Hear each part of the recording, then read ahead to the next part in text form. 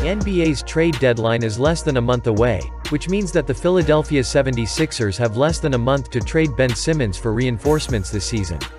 Otherwise, the Sixers will have to wait until over the offseason to make a move with Simmons, who hasn't played in a single game for the team this season after requesting a trade last summer. The Sixers have remained patient when it comes to finding a new home for the disgruntled All-Star, and there has been some speculation that Simmons would ultimately suit up for Philadelphia if he wasn't moved by the deadline. After all, he continues to be fined for every game and practice that he misses. However, that apparently won't be the case, as Simmons is open to sitting out the entirety of the season despite the fines, according to ESPN's Ramona Shelburne.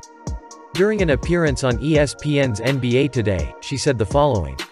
From what I've heard, if it takes the entire season to trade him, if it takes all year for the Sixers to find a trade that's acceptable for them, he's prepared for that.